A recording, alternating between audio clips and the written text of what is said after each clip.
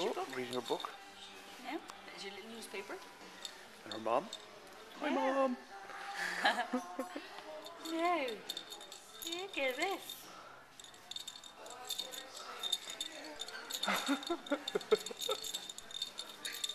Ooh. No. There you go. There's your book. Oh. Happy days.